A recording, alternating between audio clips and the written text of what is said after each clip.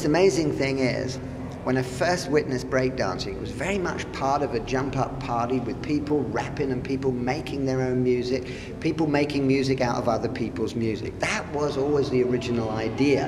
And breakdancing was something that came out of a crowd, almost like a tribal dance, almost like a, a dare, almost like a, a, a it was competitive, but it was very spontaneous. So that's how I always remember it, with people graffitiing on the walls in some derelict debris site out in the South Bronx back in 1980, 81. To move forward to 1998 and see it suddenly on the stage with all the records already made, and in fact, the records that were made back 20 years ago, is a very strange experience for me because. Uh, I don't ever remember it like that. It's all terribly organized. When you're dealing with like b-boy and b-girl in the house, you know, these dance forms that are very creative and articulate forms of expression, sometimes the crowd doesn't exactly know what you're doing. but if you do a flip, they're like, yeah, yeah, you know. Uh, but even know, that's not really part of breaking, but mm, but that's you know, part of it. You gotta know how to play up to the crowd. Like, yeah, you gotta know how to battle. You gotta know how to intimidate your partner. But there's somebody watching. If you right. can grab them in with you, then that's powerful. Right. Mm, that's powerful. No doubt. And us as females, we're definitely doing just that. We're playing yep. to the crowd. We're playing to each other's individual styles. So that's right. you know, we're taking care of all the levels, every corner. You ready? Here we go, Buffalo Gals.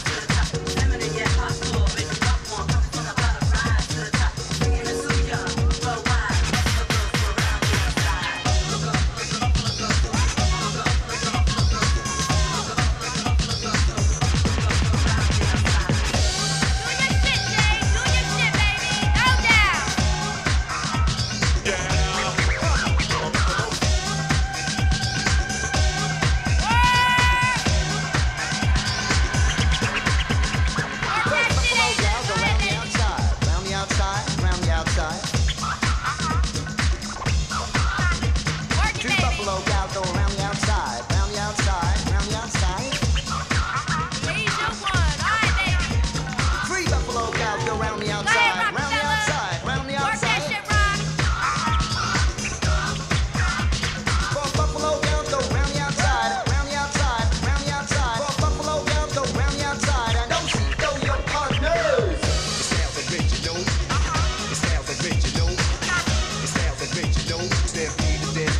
fuck cologne.